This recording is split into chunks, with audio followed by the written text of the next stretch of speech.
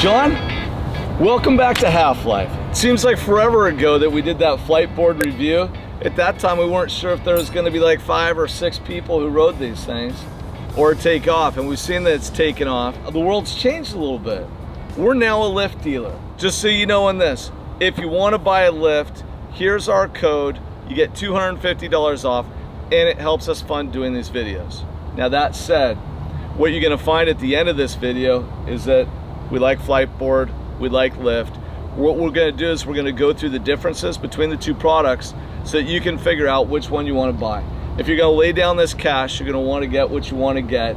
But I will tell you this, you can get a lift, you can get a Fliteboard, you're not gonna be disappointed with either one of them.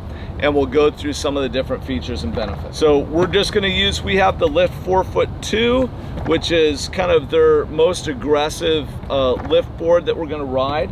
And then this is the Flite 550. Yep, the thi- Pro. This one is called the Pro. Flite also makes a 4.2, which is called The Ultra. the Ultra. Yep. And then they have a larger one and they have an inflatable one. You got it. Now you can see if we just dig right in here, these boards, this one being a five foot, they're both these boards are all carbon. And so the boards themselves, before you attach different things to them, are pretty light. Now you've chosen to put a prophylactic of sorts at the front of this. Yeah, I just got to have a nose guard on it because I, I tend to run it into my floating dock, which I launch off of. But uh, that's just me. that's that's just John. That's a tip if you want to do that. But you know, similar to the lift, and we'll open the lift here in a second. You know, they use the stainless steel latches Yep. back here, and I'd say we'll talk about one of the first differences that you're gonna see here in a second is if you look inside the board, it's a little simpler in terms of the connection. It's one connection, right? Yeah, and they've gotten even in the newest board, they've gotten even simpler. And so it's just power connections in the new one. This is the data cable on this one. Okay. So this is a Series 1 board, and they have a Series 2 board out now too. Okay, so series one, data connection point. Now, very interesting that they took these latches and they created these holes back here. And the thing why I say interesting is that sometimes in the lift, if you're not careful, you can hook a cable on it. Ah, So in this design with Fliteboard, they decided to isolate the latches and put them back here so you can do that.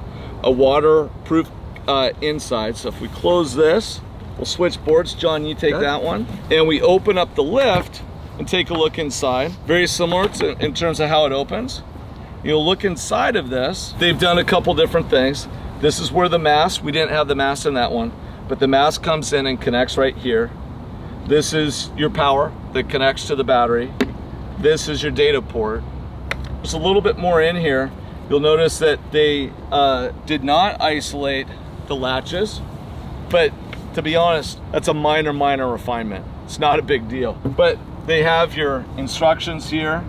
So if somebody's riding and they get a disconnect or something, everything that they need to know is here on the inside. Close it up. Similar type of fashion. Goes like that. The boards themselves, pretty darn similar. Mm-hmm. Don't you think? Yeah. So let's talk a little bit about the controller. The controller is pretty, pretty different. This is the Flite controller, and this is the lift controller.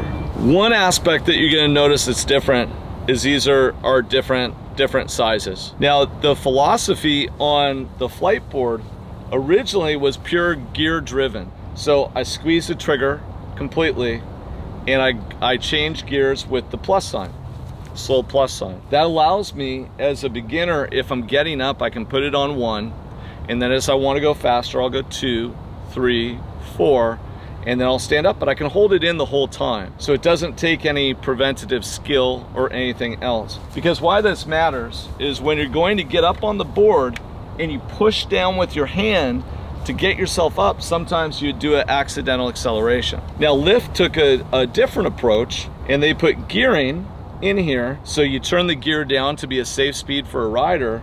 We always teach people to put a finger behind the throttle so that you modulate. So this modulation takes you from zero to 100% of power at the given power level that you're on. Mm-hmm. So you set it appropriate for a beginner.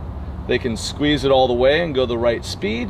However, if you don't have your thought, your finger here behind it, and you go and you accidentally push up off of it, it will accelerate.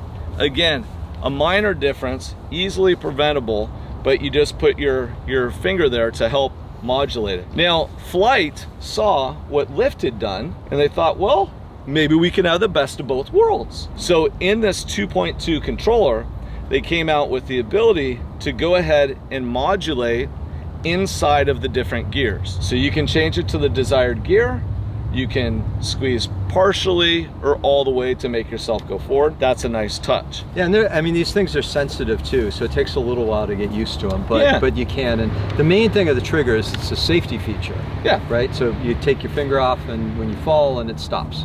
when you fall, it stops. The other thing is that this is this floats in the water. Uh, you don't want to submerge it consistently, but it floats. So if it comes off, no big deal. This floats as well. This goes with the wrist strap here around the controller. Put that on onto the controller.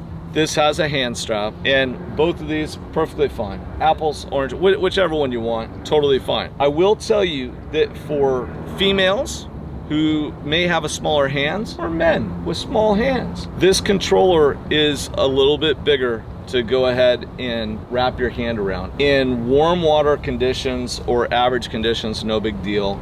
If you're going out and it's 42 degrees, mm-hmm. having a little bit larger controller can cause a little bit of stress around the thumb. Hmm. Again, minor issue, not a big issue. The Flite has decided to have their controller be a rechargeable battery. The Lift is battery replacement inside of it. So the reason it has a little bit more space is because the batteries are inside. Because they did a rechargeable battery, it allows it to be a little bit smaller. This is driven safety once again. You change gears, so it's up to the person to take it to a certain gear that is right for them. Here, as an instructor, and when we're doing demos, I'll go ahead and change this to a level so that's appropriate for the rider. And most riders, unless we tell them how to change it, aren't gonna be able to change it.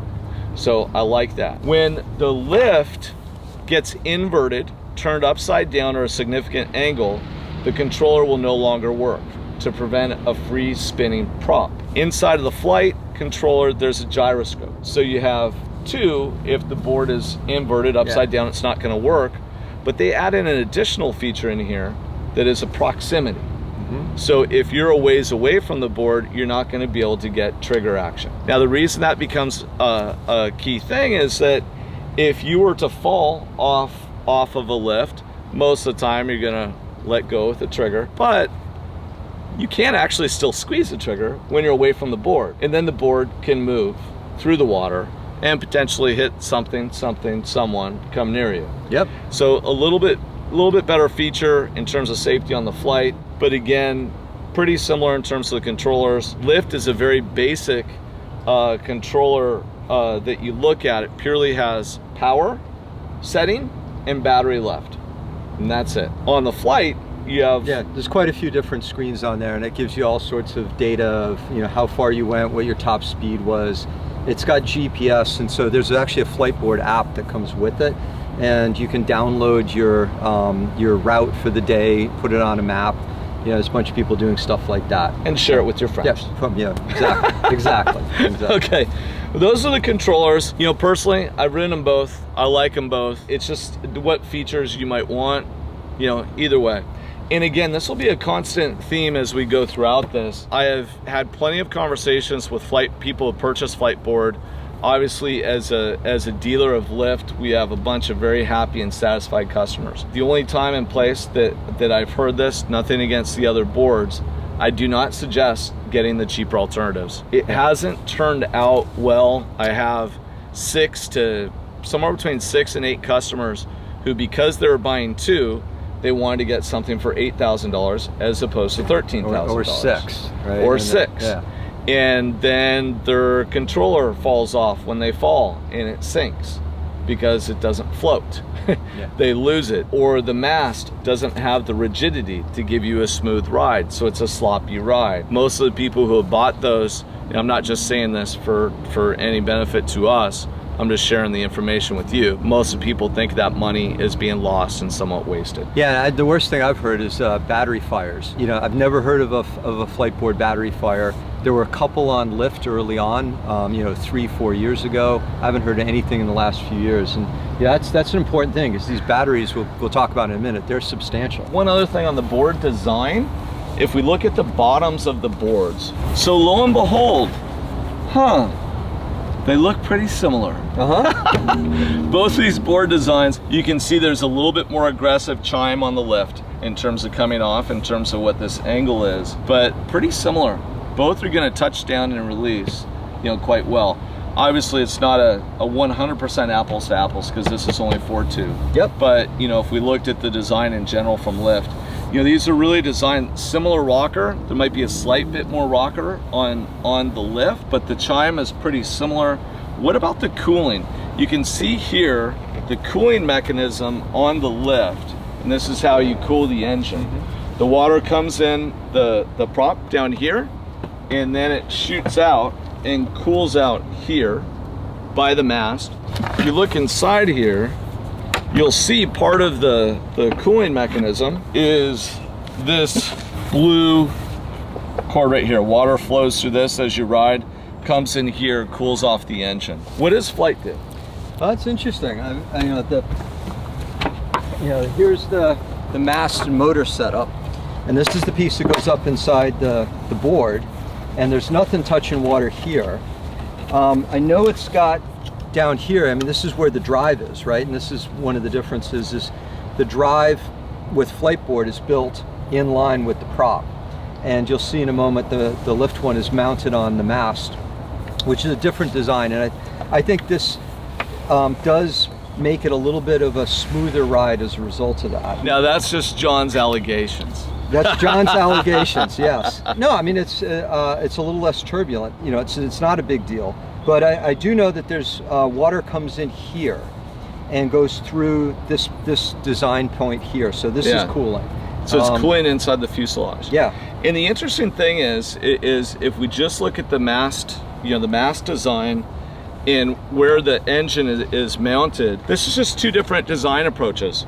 And I gotta tell you, I, have spent time riding both products mm -hmm. and I don't see a discernible benefit one way or another as a rider as you ride through the water. But what the folks at Flite did is they decided to keep the the uh, prop and the fuselage in line with the front wing and then to keep their hydrodynamics they rose up the stabilizer and lifted it back. Whereas the lift, the lift basically took their exact, this fuselage front tail, back tail setup, you could actually ride behind the boat, you could ride in the ocean, they put it onto their mast and they mounted their engine component up a little bit from it. Mm -hmm.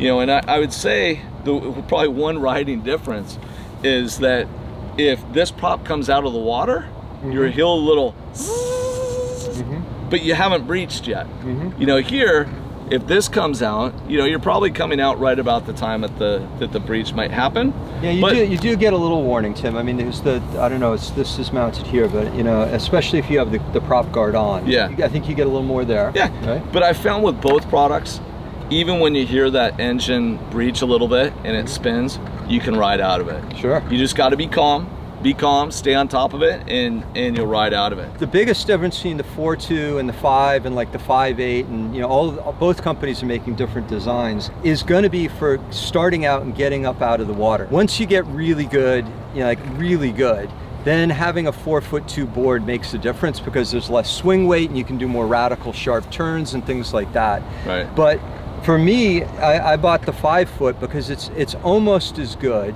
and if you want to ever teach anyone else, getting going on the 4.2 is much, much harder than getting going on a 5 or a 5.8. And so, you know, that's the main thing. I teach a lot of people. I have my kids, I have the kids' friends, I have other friends. Yeah. Uh, everyone yeah. wants to ride these things. And so, you know, this is a pretty good compromise for, for that. And I know Lift has, has uh, other sizes as well. Yeah, and I will tell you, it, it's so fun to teach people. Just seeing the smile on their faces when, absolutely, you know, we'll, we'll have Johnny come on here in a little bit, but you know, he and I have taught a bunch of people both through Zoom lessons and in person. And uh, just seeing the, the their faces light up when they get to flight it is so fun. And yeah the different size boards we'll do another video that is uh, how to select your your actual board length for an e-foil. Um, but you're absolutely right. You know when you go shorter you know depending on what your weight is that liter count goes down. The Yeah. board sinks deeper in the water and so it requires more flexibility and talent to be able to get up on it and get going. And so for Flite around that five five foot board is a great option. For lift the five foot four or the four foot nine board is a great option. It depends on how much water experience you have but both of those can work And can work pretty well. Okay so when we switch over to talk a little bit about the foils The wings, yeah. so these wings, we'll call them we'll call them the foils. The reason why we chose to be a dealer of lift was because of the foils. When in comparison, because at that time Flite hadn't quite come out with their their new foils. Lift has a lot of experience in terms of foil design. Um, you know, like the the HA 120 is a favorite for a lot of guys who, who we know in Maui who, who are in the waves with it. We've wake surf behind the boat with the, the Surf 200 and the High Aspect 200. For this board, we, we wanted a little bit more performance, so we put on the, the Wave 150 on the front and a 32 tail on the back. But as, as you can see here, it's it's a single fuselage and it's only aftermarket adaptation you can do to, to shim it or to change it. Um, we found these to work really well. That's just great because I mean the wings you can get thousands of dollars just into your foils. Yeah. Right. And so being able to swap them in, you know, for other uses, you know, surfing behind the boat or winging. Or wing foil. Right, because people are doing Yeah. that too. You And know, so- that, that is great. Yeah, and so if you wanted to, you can actually purchase a, a lift board and then get a second mast that is not a powered mast, a standard mast. And you can take this wing setup and fuselage, put it on that standard mast, and then you essentially have gotten two for one. Because now you can go behind the boat, or if you're a winger, you can wing. You still have to get the board appropriate to that. But you get to stay kind of within that, that family for utility in terms of wings. And there's one other benefit that we'll talk about a little bit. Flite went out and made a, a big investment in terms of design, right? Yeah. Coming coming out with new foils to adjust and improve the flexibility of how you how you can ride and what you're going to ride. And again, I say matching it a little bit to your prefer, per, preference because for some people they want a very slow moving wing something very stable that's great for everybody to ride and as you improve you want a little bit more looseness so what do we have here john So this is this is their new. It's called the Flow 1300, and this is one of their bigger wings. So if you're you know say over 180 pounds. Um, or you're beginning, this is a really good wing to start out with. And it's designed to be more sort of surfy. The way it will turn, it'll turn a little bit more, but it also has a lot of good float to it. Versus like this one, which you can see is quite a bit smaller. You can see, you know, cross-sectionally, it's smaller, and this will just be a little bit harder to ride, but it'll be more performance. And then the last one here is we've got the flyer wing um, in the cover, but here I can pop it out. The flyer wing's a 900. Yeah, and so Oh, that's, yeah, a, that's a at that. 900 wing. And this guy with the new stabilizers, really, really fun and fast. Just for bombing around, this is my go-to. And so with both of these, you know, I'll put up a, a graphic here just because I don't have all the lifts here, but that has, there's a bunch of different lift front wings. You can see them here. There's also a bunch of different tail wings. And so part of the magic, at least what we spend our time on when we help get somebody dialed in, is we'll match the front wing and the tail wing to the rider's size, the style that they ride and everything else. But it's nice to have that flexibility. And so with this, with Flite, you can change your front wing and are there different different sizes for the stabilizer? Yeah, there are a few different sizes, and uh, you know the one that's on here is is their newest, which is the it's called the 245, and it's you know quite high aspect, quite flat here. Um, you can see the the sort of cross section there. This is a more advanced one, um, but with the as I was saying with that flyer wing, it's just super super fun to ride. Yeah, and so it's nice to be able to change these out and not to be too repetitive. But when you look at some of the other alternatives, the less expensive alternatives, there those companies it's very difficult to maintain a level of R&D and quality Mm-hmm. to have an assortment of different different foils to ride. I will say while we're on the topic of foil, the one advantage and, and we recently did a video on this, we had so much fun. This is a adaptation. This one is from this guy by the name of Jim Stringfellow. So it's, so it's an aftermarket fuse. It's an aftermarket fuselage, and I can take this front wing, back wing fuselage off and put this on, and this has the Armstrong adapter up front and on the back. So I can put my Armstrong foils onto the lift setup and ride that. And it's it's a really interesting aftermarket. It's a lot of fun. It's a smaller segment of the market because these are guys who have a quiver of Armstrong foils, plus they decide to get a lift, but it allows you to get more utility and flexibility. yeah, I think it's awesome. Now I uh, don't know. I mean, I obviously, I- yeah, I think because of the way they've done this, it's more difficult, right? You Yeah. couldn't build an aftermarket fuse the same way, and that's Yeah. that's you know a cool thing for that. Yeah, and so I'm not sure. You know, maybe maybe somebody will come up with a way that you can do something interesting to put on different wings up front. I'm sure somebody's smart enough to Yeah. figure it out. I'd say right now, in terms of just your aftermarket ability to put different different wings on, you know, maybe a slight edge to lift. But again, talk about edge case. You know, mm-hmm. what you want is a, a manufacturer who has a lot of the front wings and, and flexibility that you want to ride. So we've covered the wings, we covered the board. Let's talk a little bit about the mast. So you can see this was a, a different a different decision made by the lift team than the Fliteboard team. Mm-hmm. You know, this is all carbon. It's a carbon carbon layup, um, so it's going to be a little bit lighter. Uh, it may flex a little bit more. This is is this? It's uh, aluminum. Yeah. yeah, this is polished aluminum. So polished aluminum, you know, it's going to be it's a little bit heavier. It may be a little bit stiffer. You know, I Mm-hmm. don't know. We would have to we would have to test them, and I don't really want to bend them.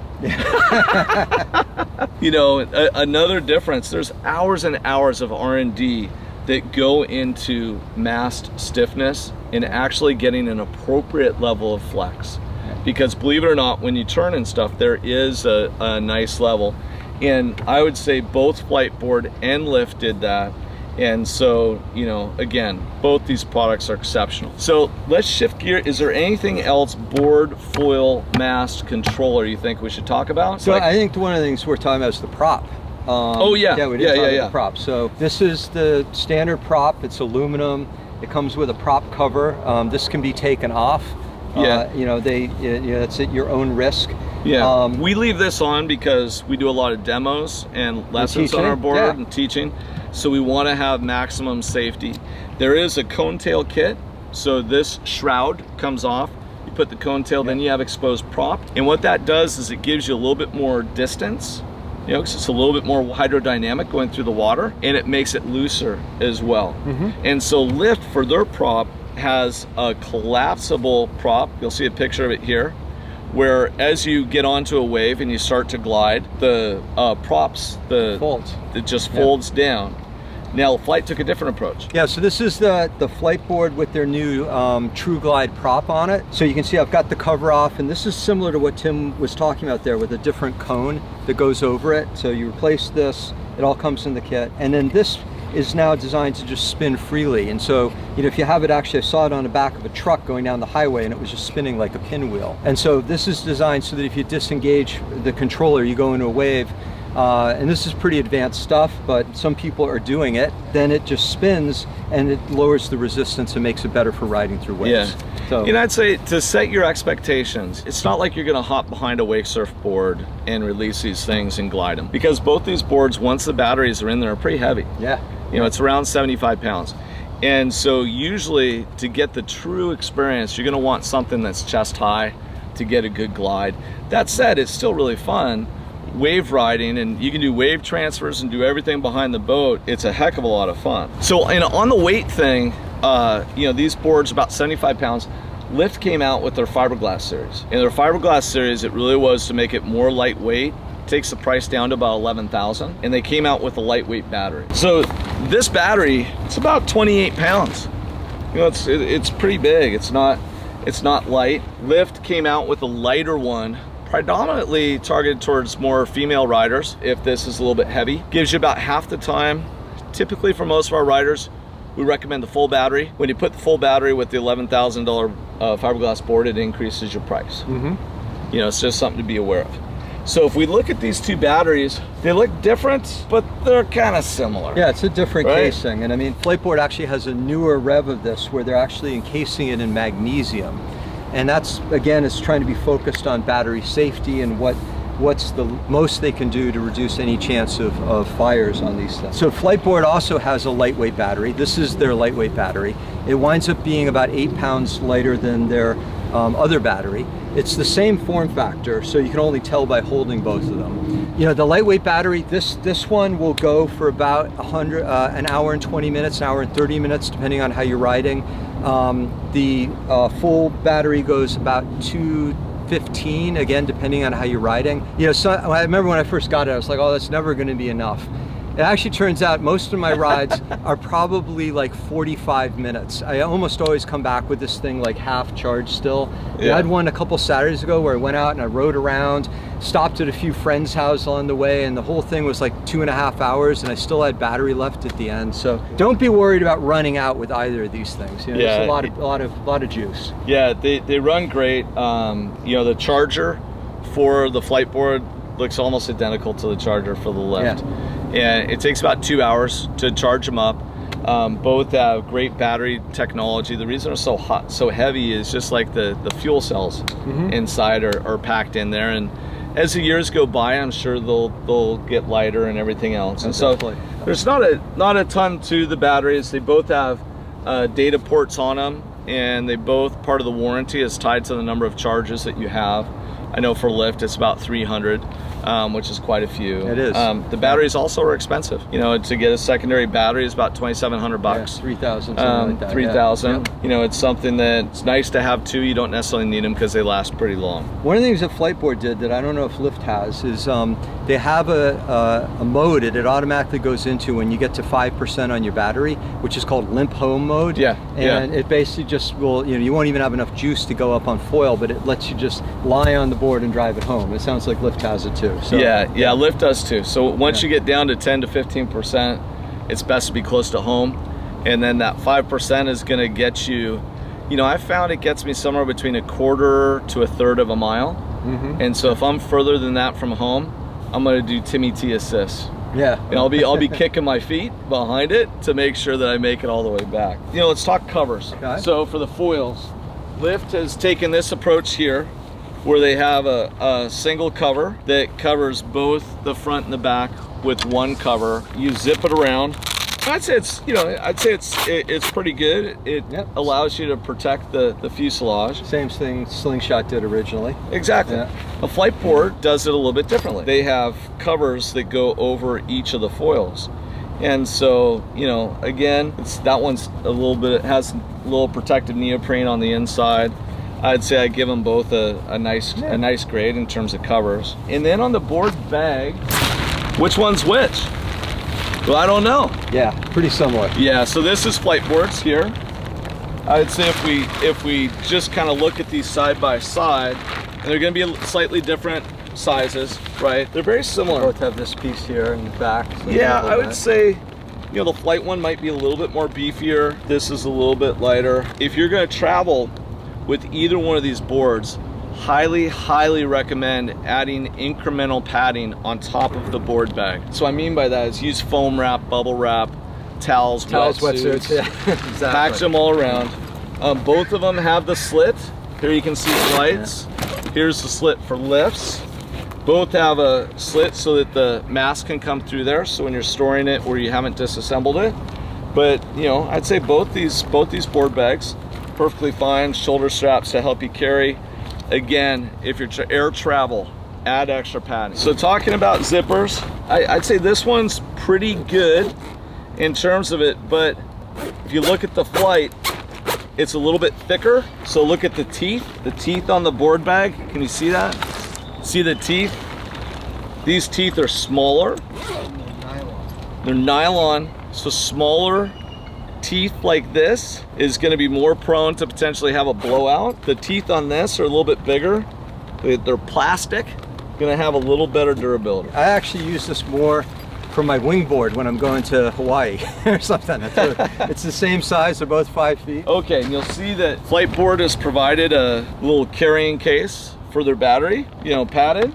Lift does not. So when you receive your Fliteboard in the mail for your unboxing, you'll have this large rectangular foam-based thingy and you'll unzip it, open it up, and inside you'll see the, the location. This is a shot. That's, that's the prop cover. But you'll see the location for the mast, the powertrain. Uh, no, it's not battery. Um, charger. Trying to remember, yeah, charger, and then the and the stabilizer, and they typically sell with the what they call the cruiser wing, which is their ultimate beginner wing, and then if you buy the flyer wing, that's a slot for that there. But you have two slots for wings okay. that these things will fit into.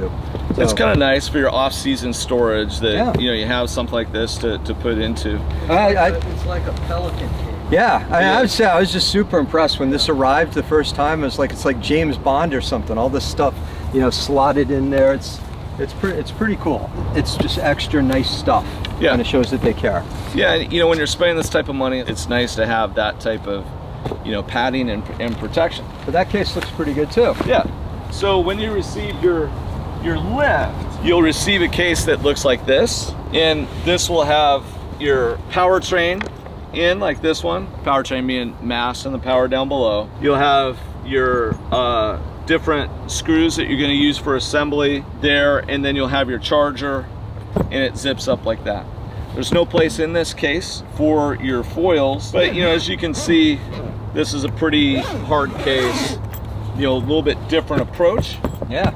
You know, it's a, a semi-hard case. Again, you can check this on a plane. You can check this on a plane. And you're going to be getting bassoon players coming up and wanting to, to bond with you on this one. They're going to want to jam with you. So the batteries do not go in the bags, they go separately. I mean, one cool thing on the batteries, I told Tim earlier that there are quite a few places around the world that are now, you can bring your board if you want to travel with it. You can't bring these either one on planes, but there are places that are renting them. So you can show up and rent a battery and go. Uh, and I bet you people are doing it for lift as well. And so yeah. you, know, you, go to your official lift center in you know, the Bahamas or south of France and go. Do that approach if you're gonna go there and you're gonna do a good amount of riding. Yeah. So if you wanna be riding every day and you wanna do some exploration and stuff, if you're just gonna ride once, go rent. Just rent their yep. stuff, save yourself the hassle of flight. Um, but if you're gonna go down for an extended stay and you want to be able to ride, then leverage that. Reach out to, you know, we, we can help with some of that stuff. There's a few different Flite dealers around that can help out. See how quickly I moved my toes out of there? Yeah. I, I was like, I don't want that in my foot. And so, again, so I think we talked about this. Maybe a slight edge on the packaging to Flite. Um, I think our functionality in terms of the foils and everything are gonna be, you know, pretty similar. But you know what, John? It's time to hit the water. Sounds I'm good. I'm hot. Yeah. I'm sweating I'm here. definitely hot. Are you ready? Yeah. All right. Let's go do it. Johnny, you ready to ride too? I'm ready to ride. Let's hit the water, baby.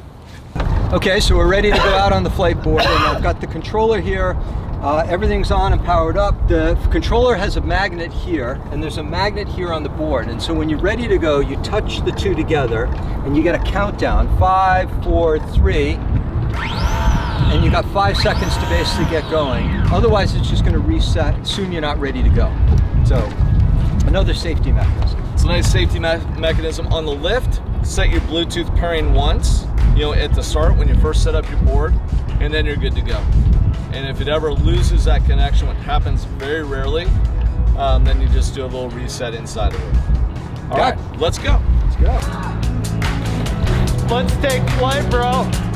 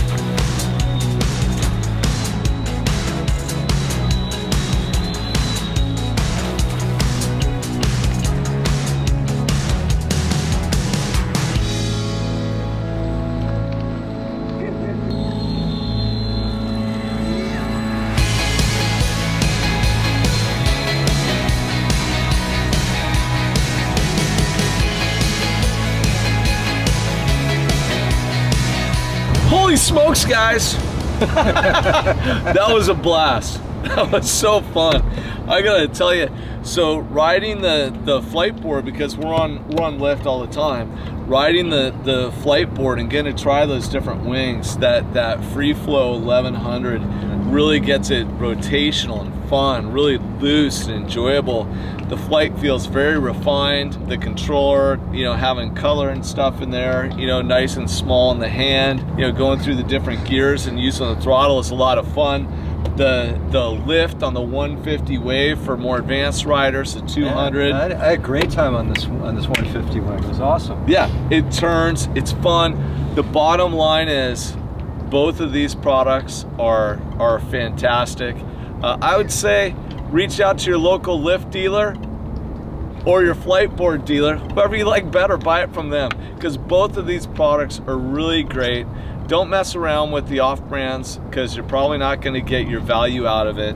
You know, the other question that a lot of people have, and we should probably weigh in on, is does it get boring? You oh know, yeah. Is it? I was I, worried about that too when I bought it. Yeah, yeah. I haven't been no. bored once. No. It's like the the and the thing that you underestimate before you buy it is the adventure that you get with it. You can throw it in the back of your car. It all disassembles. Take it to any body of water that you may have been in before you haven't been in before. And it's really fun to go zipping around. And so the lift's fantastic the Flite is great. If you end up getting a lift we'd appreciate if you use our dealer code. Uh, it gives us a little bit of a uh, little bit of percentage back helps us fund the videos that we do. Here's the affiliate code.